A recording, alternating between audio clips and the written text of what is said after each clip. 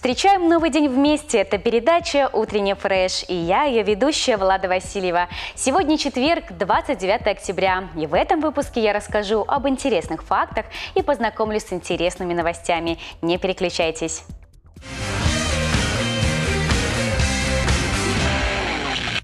Немного о погоде. Сегодня на территории Гомельской области прогнозируется сплошная облачность, без осадков.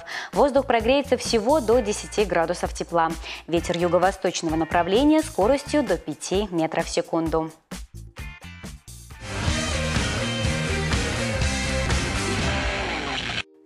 Каждый день хранит в себе важные исторические события. Когда-то был изобретен кинематограф, а когда-то открыт новый свет. Важные исторические факты можно отыскать в каждой календарной дате. Ради любопытства и расширения кругозора. Перевернем наш календарь на 29 октября. Ежегодно 29 октября отмечается Всемирный день борьбы с инсультом. Дата была установлена в 2006 году. Целью проекта является призыв к срочным активным действиям во всемирной борьбе против этого заболевания. В 2004 году Всемирная организация здравоохранения объявила инсульт глобальной эпидемией, а в 2006 году была создана Всемирная организация по борьбе с инсультом, которая и учредила этот день. Сегодня в общество входит более трех с половиной тысяч индивидуальных членов и более 60 организаций из 85 стран. Это ученые, научные союзы и общества по борьбе с инсультом. А жители Гомеля и Гомельской области с 10 до 12 часов будут консультировать врачи-кардиологи Гомельского областного клинического кардиологического центра по телефону прямой линии 49 18 02. Ну а сейчас давайте посмотрим социальный ролик фонда по борьбе с инсультом ОРБИ, в которой приняли участие Гоша Куценко и Александр Тютин. В небольшом сюжете актеры рассказывают, почему так важно вовремя обращаться в скорую помощь при инсульте. Внимание на экран.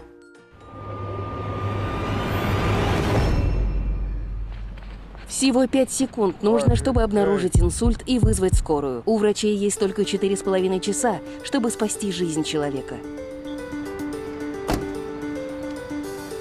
Вы обнаружили? Я. Когда точно начался инсульт? Минут 30 назад. Нам необходимо точно знать, есть у нее гипертония, аритмия, диабет. Я не знаю. Меряем давление, сахар. 180 на 100. Давление не снижаем, грузим, поехали.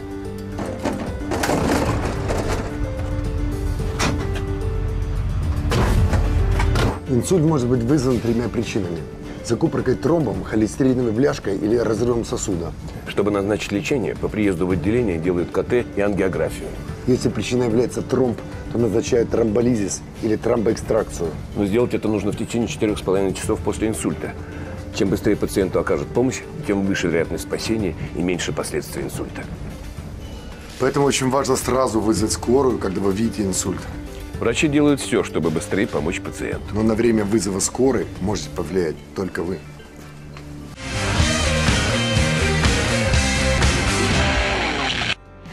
А в Музее истории печати и фотографии Гомельщины открылась выставка под названием «Музыка в объективе». Автор-любитель концертной фотографии Светлана Дедковская. Интерес к фото автора с детства, но результативное увлечение этим направлением началось в 2013 году с концерта экс-солиста дуэта Model Talking Томаса Андерса в городе Коблинц. Гости музея увидят снимки, сделанные на концертах в Минске, Москве, Санкт-Петербурге, а также в Германии. Автор всегда старается поймать эмоциональные эмоциональные моменты выступлений. В кадре Томас Андрес, Анивески и многие другие.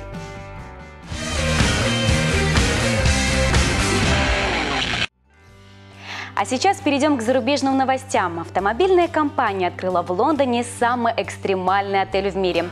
Он состоит из одного номера, расположенного на высоте около 70 метров от земли. Ночник представляет собой палатку, закрепленную на опорных стойках развлекательного комплекса.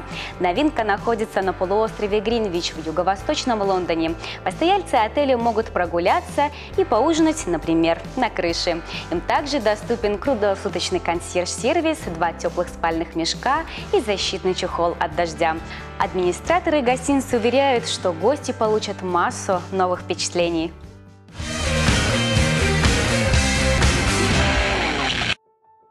Забавными кадрами поделился на YouTube местный житель штата Вашингтон. Мужчина установил в лесу скрытую камеру, чтобы подсмотреть за животными в их естественной среде обитания. Он надеялся запечатлеть волка или лису, однако в кадр попал медведь.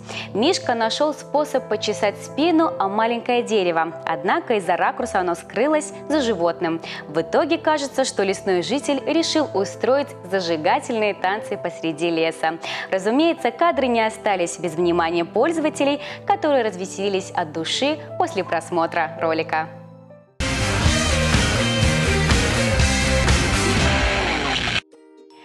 Собака по кличке Раш водит лучше, чем многие, у кого есть права. Четвероногий друг смело становится на скейтборд и объезжает все препятствия. Однажды хозяин решил сделать для своего питомца некий квест.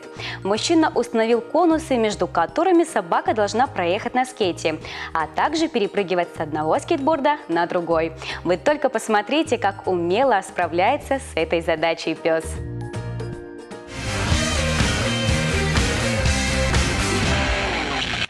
А сейчас поговорим о том, что интересного для вас подготовили мои коллеги. Смотрите сегодня передачу «Бизнес-план на Беларусь-4 Гомель». В сегодняшнем выпуске речь пойдет о бизнесе в сфере внутреннего туризма.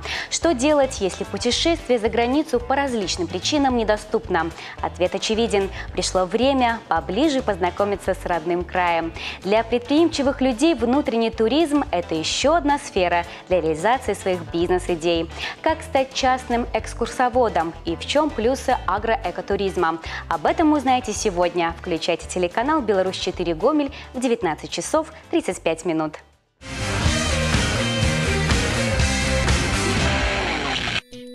О выпусках передачи «Земля наша» творческая группа знакомит телезрителей с жизнью малых населенных пунктов нашего региона. Сельскохозяйственные, социальные и культурные темы раскрываются через конкретных героев, работников местных хозяйств и сфер сельских учителей и школьников, участников творческих коллективов и ремесленников. Каждый герой – яркая, неординарная личность со своей уникальной жизненной историей.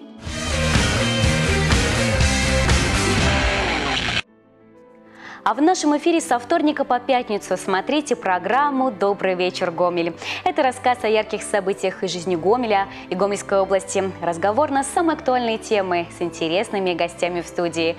Включайте телеканал «Беларусь-4» сегодня в 20.25. Не упустите хорошую возможность приятно провести вечер всей семьей у телеэкрана.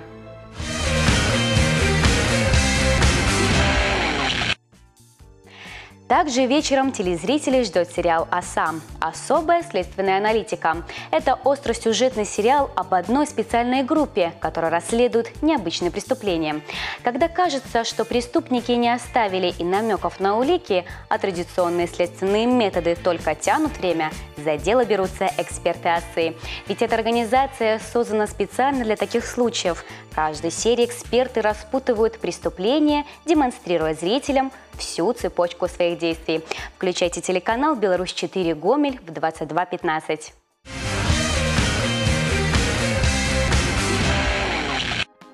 На этом все новости. Как всегда, новый день с вами встречала программа «Утренний фреш».